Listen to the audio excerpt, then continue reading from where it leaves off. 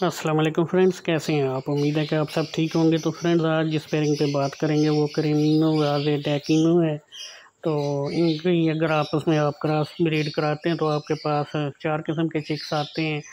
तो वो चारों ही चिक्स आपके लिए बहुत ही कारामद हैं और बहुत ही कीमती हैं कि ब्लूटिक ब्लूटूथ की वर्किंग के लिए ये बेहतरीन ही पेयरिंग है। ये, अगर ये पेयरिंग आप करते हैं तो आपके पास ब्लूटूथ की वर्किंग भी हो जाएगी।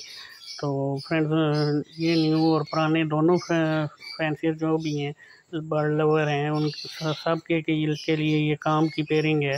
तो क्रीमिनो व डेकिनो अगर इस पेयरिंग को आप आपस में क्रॉस ब्रीड कराते हैं तो आपके पास पहले नंबर पे जो चिक आएगा, वो करीमिनो होगा। दूसरे नंबर पे आपके पास जो डेक डेकिनो आएगा यानी कि डेक जो होगा, वो इनो स्प्लिट लाजमी होगा।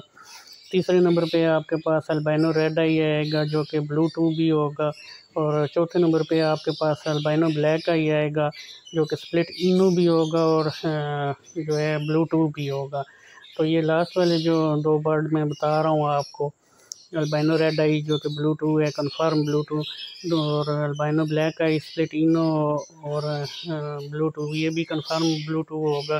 तो ये है कि इनको आप किसी भी के साथ पेयरिंग करके तो आप अच्छे खासे तादाद में आप पहले भी, आगे भी जो है क्रीमिनो वगैरह और डेकिनो वगैरह प्रोड्यूस कर सकते हैं पेयरिंग करके। तो फ्रेंड मिलते हैं किसी न्यू वीडियो में फिर।